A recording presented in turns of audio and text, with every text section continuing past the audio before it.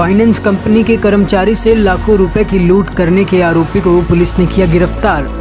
Jainarayan Vyas colony police ने finance कर्मचारी से लाखों रुपए की लूट के मामले में पुलिस ने तीन आरोपियों को गिरफ़्तार किया है। प्राप्त जानकारी के अनुसार, बीते दिनों फाइनेंस कर्मचारी के साथ लाखों रुपए की लूट हुई थी। लूट के मामले में पुलिस ने तीन आरोपियों को गिरफ़्तार कर लिया है। पुलिस ने 5 मई को जना स्मॉल फाइनेंस के कलेक्शन एजेंट आमिर खान के साथ हुई करीब तीन लाख अस्सी हज़ार रूपए की लूट के मामले में कार्रवाई की है। नमस्कार, मेरा नाम है करण पारिक और आप देख रहे हैं राजस्थान की आवाज़। सबसे हटकर सबसे अलग सत्य के साथ राजस्थान की आवाज़। तो चलिए शुरुआत से जानते हैं कि क्या था पूरा प्रकरण। पाँच मई को परिवादी आमिर खान ने मुकदमा दर्ज कराते हुए बताया था कि वह वर्तमान में जना स्मॉल फाइनेंस पेमासर शाखा में इलेक्शन एजेंट का काम करता है। बैंक द्वारा ग्राहकों को दिए जाने वाले लोन की रिकवरी का काम करता हूँ। प्रार्थी ने बताया कि कल दिन में ग्राहकों से करीबन दो लाख अस्सी हज़ार रुपए का कलेक्शन किया था। और पाँच मई को करीब एक लाख रुपए का कलेक्शन किया था। कुल मिलाकर तीन लाख अस्सी हज़ार रूपए किए थे। उक्त रुपए लेकर प्रार्थी बाइक से नापासर से बीकानेर आ रहा था। उसी दरमियान बीकानेर रोड पर हनुमान मंदिर से थोड़ा आगे पहुँचा तो पीछे से बिना नंबर की एक बोलेरो कैंपर गाड़ी आई और बाइक के आगे लगा दी।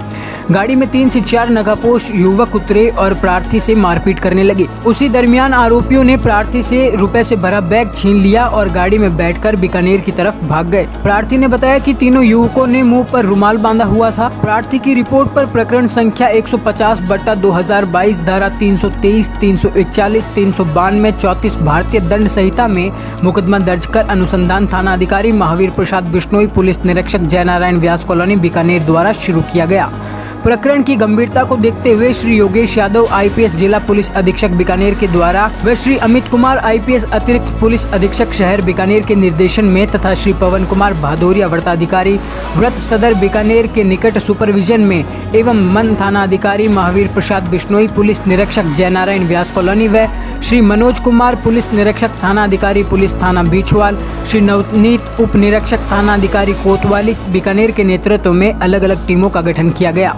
टीम द्वारा तकनीकी साधनों व घटनास्थल के आसपास तथा होटल, ढाबे तथा संस्थानों पर लगे सीसीटीवी कैमरे चेक किए तथा मुखबिर मामूर किए गए। मुखबिरों व अन्य तकनीकी संसाधनों से प्राप्त सूचना का संलग्न कर कुछ संदिग्ध व्यक्तियों को चिन्हित कर उनके मोबाइल नंबर प्राप्त किए व कॉल डिटेल प्राप्त कर cyber cell expert Deepak Yadav, HC के द्वारा कॉल डिटेल्स का गहनता से एनालिसिस किया गया। गोपनीय सूत्रों की सहायता से संभावित संदिग्ध व्यक्तियों को डिटेन कर, गहनता से पूछताछ कर, प्रकरण के आरोपियों को गिरफ़्तार कर, प्रकरण का खुलासा किया गया वह वारदात में प्रयुक्त बिना नंबर, बोलेरो गाड़ी बरामद की गई। आइए अब जानते हैं कौन थे लूट के आरोपी पुलिस टीम ने डूडी सिपाहियों का मोहल्ला निवासी मोइन खान, धोबीतलाई निवासी अल्ताफ खान व सादुलगंज निवासी गजेंद्र सिंह को गिरफ़्तार किया है, जिनसे अभी गहनता से पूछताछ की जा रही है।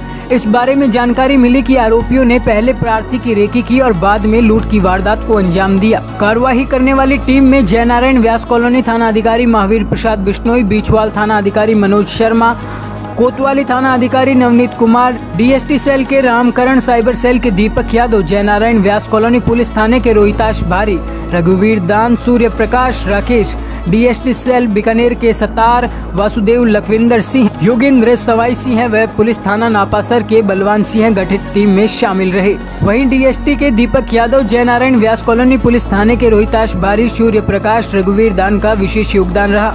अब तक के लिए बस इतना ही। बने रहिए राजस्थान की आवाज़ के साथ। जय हिंद, जय भारत।